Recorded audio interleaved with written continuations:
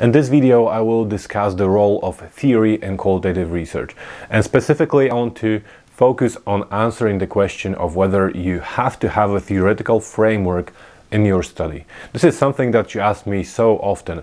Do I need to have or do I have to have a theoretical framework in my research?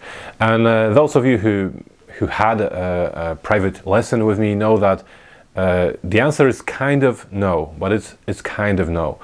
Uh, so, as as you know, in qualitative research, there is hardly any right or wrong. I often say that hardly any black and white. So, and what does this depend on? So, it specifically depends on how you understand, how you define a theory. What is a theory? How you see uh, the place of theory, the role of theory in the study, and most importantly, how you define theoretical framework. So, so that's why, hence this this weird and confusing answer because more often than not, when you ask me, do I have to have a theoretical framework in my study, there is a certain definition or certain understanding of what a theoretical framework is that you have. In which case, my answers my answer is no. But let's start. Uh, let's start from the beginning. So we will have to um, we'll have to break all of this down into small details in order to answer that question. I'll have to discuss briefly the role of theory, like I said. So, what is the role of theory in research? Where does it manifest itself in qualitative research? And then uh, define a theoretical framework. That's crucial. And after that, I will be able to tell you my, uh, to give you my response, and you'll be able to not only understand my response, but also uh, just make your own judgment as to the role of theory in your study. So firstly, like I said, let's discuss the role and place of theory in qualitative research. Let's understand where what is the use of theory, what role it plays in qualitative research. So here, uh, Collins and Stockton, or perhaps Stockton and Collins, I'm not sure. I'll put the, the reference uh, on the screen and also in the description. Uh, when they discuss, uh, it's a really good article, so I recommend reading it uh, to explore the topic further. But when they discuss the, uh, the place of theory, the use of theory, uh, they list uh, four common uses of theory in qualitative research, to which I also want to add one more. So, uh, so the first one is uh, the theory is being used in the discussions of epistemological and ontological positions, the philosophical paradigms. So I have a separate video on this topic. Of course, I won't be breaking this down into into details now, but but overall. Uh, this is where uh, our first use of theory occurs. So when we talk about, as you know, you have to talk about your philosophical, the paradigms, the worldviews, and all of that. You have to talk about this. You have to define it. So that's the first way in which uh, theory uh, plays a role in, in how we see the world, how we see the world, how we what we understand about the world, our beliefs about how to uh, how to research, how to study that world. So that's obviously quite an important role already. So the second use of theory is uh, theory of research methods.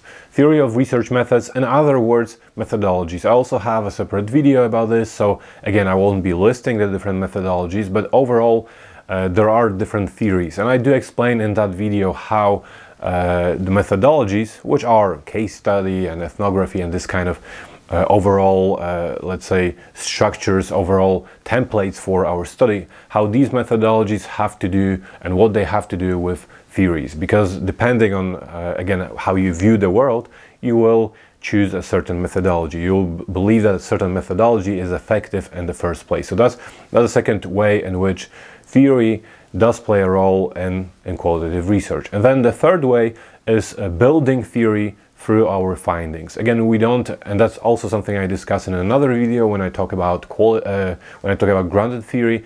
Uh, we don't always have to build a theory as such, but we do provide some kind of explanation. We're doing research and we provide some kind of explanation. So, so in this sense, we're building a theory. So that's from our findings, some kind of a theory uh, starts to emerge and that's the third way in which theory manifests itself in our research. Now the fourth way is something I wish to add to the list before moving on to the final point that these two authors make. The fourth way are simply uh, is simply uh, the role of existing theories, existing ideas, concepts and understanding. So the role of our uh, literature that we review in the literature review. That's also the role of theory because of course uh, you will develop some kind of some set of assumptions, some set of understandings uh, when you before you embark on your research journey. So that's the fourth uh, use of theory. And final, uh, finally, the fifth use of theory, the fifth uh, potential use of theory is when theory is used as a framework for our study, for uh, as a framework for our whole study. And in this sense, uh, this guide or framework is being applied to a study including our data analysis. So uh, so you're using something literally a framework or a model a set of concepts that somebody developed. You're using that uh, for example, when you analyze your data or when you're planning your data collection methods, so for example, planning your interview questions, you're only exploring different elements from somebody's model, for example. And then when you analyze the data, you're also only looking for these elements from that model. So it's being used as, a, as I said, as a template, as a framework for our study. I will come back to this uh, meaning of this, uh, of this theory or theoretical framework uh, later on in this video because I do believe that that's exactly what's relevant for answering our question of whether we need a theoretical framework. But as you see already, there are so many different uses of theory. So it's not just having this kind of a framework. The theory, the role of theory uh, is evident in choosing methods and, and choosing the overall approach in our beliefs about research and what we do with our findings. So as uh, another uh, popular uh, pair of authors say, Lincoln and Guba, or Guba, I'm not sure how to pronounce that, it's not possible to not have any theory in our study. Although, uh, as they say, we may have uh, we may have a very inductive and exploratory uh, study. It's simply not possible to have uh, no theory and no theoretical framework in our study. So now let's define theoretical framework. So that's the next stop on our way to answering the question of whether you need that theoretical framework. We now know uh, we now know uh, about the, the role of theory and how it can manifest. So now what is a theoretical framework? That's, uh, that's very important. So as Collins and Stockton, the guys I previously referred to, explain, a theoretical framework is at the intersection of uh, the existing knowledge and previously formed ideas about complex phenomena. So it's kind of what I mentioned about the previous literature, assumptions, previous knowledge. Uh, then uh, the researcher's epistemological dispositions, which is also what I mentioned when I discussed the different paradigms and worldviews. And finally, a lens and a methodically analytic approach.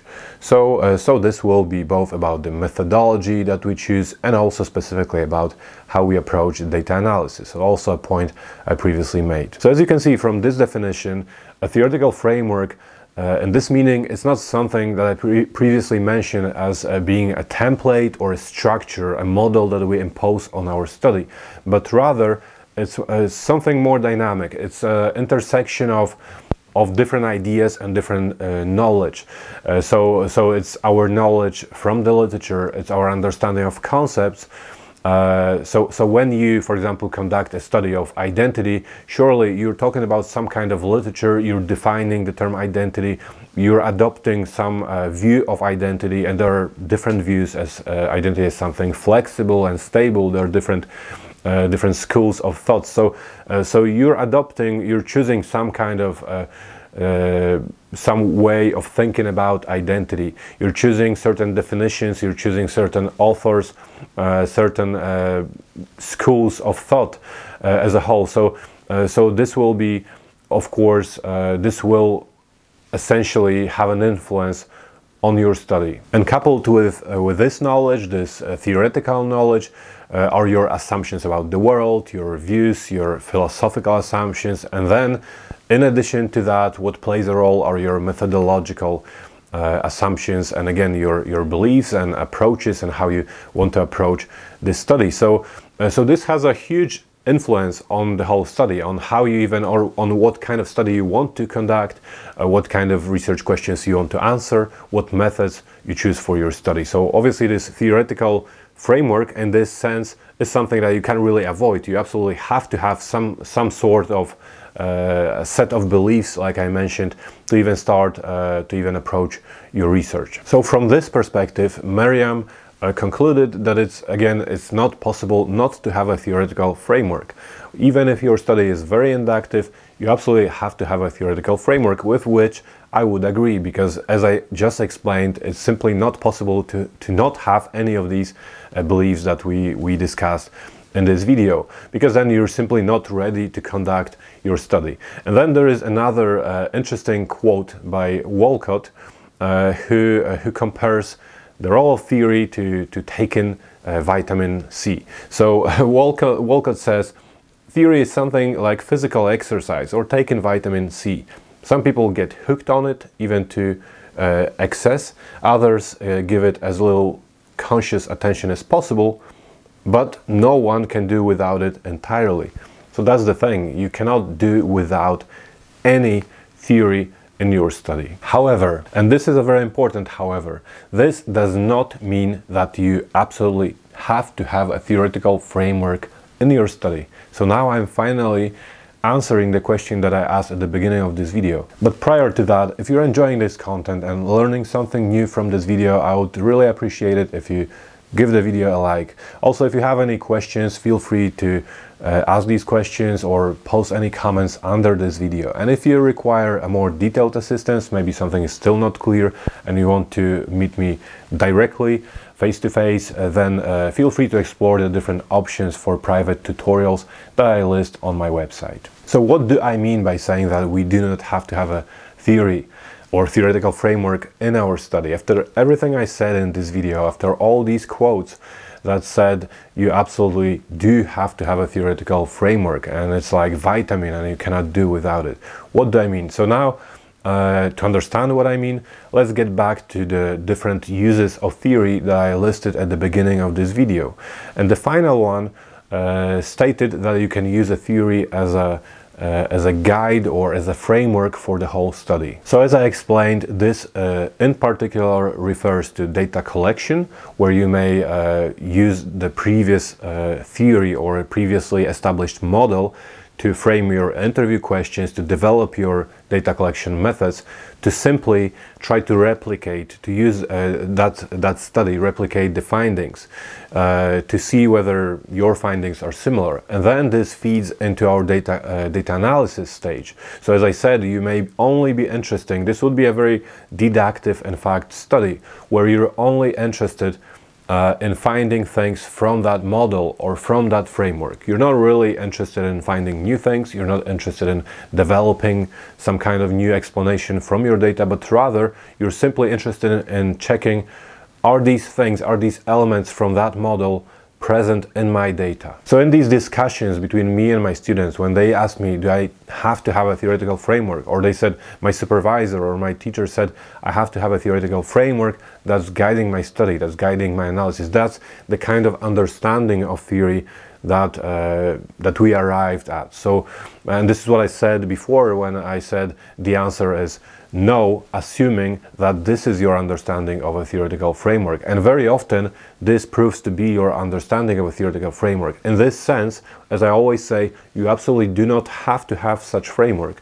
In fact, I don't really like the idea of having such framework in a qualitative and exploratory and usually quite inductive research because as I always explain this limits your findings. This uh, this kills so to speak the, the creativity and the potential of your study to really contribute new knowledge to the topic. Because instead of being inductive and being exploratory and uh, providing new knowledge and new understanding that emerges straight from your data and your context and your participants you're simply uh, narrowing everything down and limiting your findings to to ticking uh, you know the boxes for for elements from somebody else's theory to see if that is present in your context. And this uh, I don't like and I don't support. Of course there are studies uh, uh, where this makes sense, but this is just to say that you're absolutely not expected and required to do uh, to apply this kind of practice to your study. And it seems to be a very common misconception that in fact you do need to do that. So in that sense, you absolutely don't have to have a model or a framework. And otherwise, as we kind of established in this video, you will have a theoretical framework understood as a set, uh, a mixture of all these assumptions and, and knowledge and beliefs that I mentioned. In that sense, inevitably you will have a theoretical framework and some set of uh, beliefs uh, prior to embarking on your study.